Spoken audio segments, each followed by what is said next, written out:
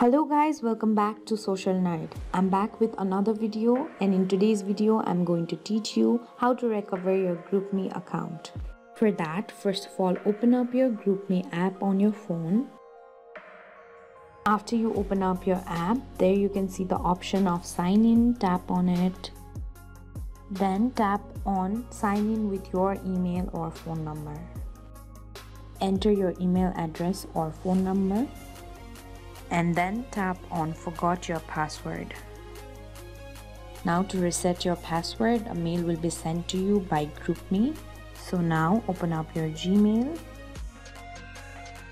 After you open up the mail that has been sent to you by GroupMe, there you can see the option of reset password, tap on it.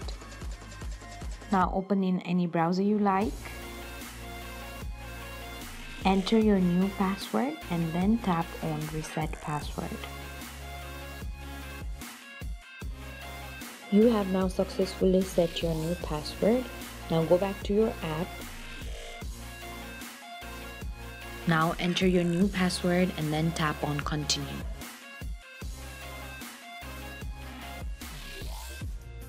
This way you can easily recover your GroupMe account.